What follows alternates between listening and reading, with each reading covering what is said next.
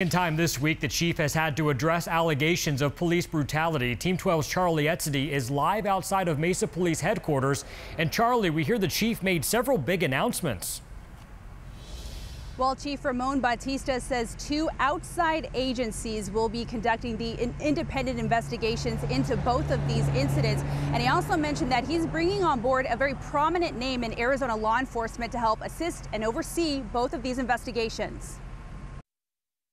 I'm angry and I'm deeply disappointed by what I saw in those videos. Two separate incidents in the month of May now coming to light has thrust Mesa Chief of Police Ramon Batista and the entire department into the national spotlight and the focus of intense scrutiny for the officer tactics shown in the videos. From the bottom of my heart, I promise you, we will fix this. So far, seven Mesa police officers connected to the incidents have been put on paid administrative leave. But some in the community are demanding further action, suggesting the problem of use of force goes beyond just those officers. Attorney Benjamin Taylor is representing the 35 year old man seen being punched in one of the videos. Um, if you don't clean up your culture, this has been going on for years. When's it going to stop?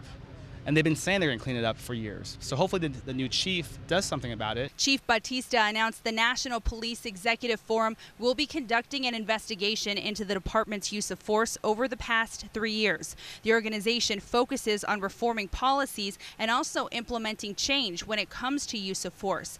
And former Maricopa County Attorney Rick Romley will be assisting with that investigation, as he says, to ensure thoroughness and objectivity. These changes are expected to start immediately, but leaders leadership with the Mesa Police Union says some officers are not happy with this direction. We're getting the, the information uh, to us that our officers feel as they're not supported, that uh, just perception of the department looking bad uh, supersedes their safety.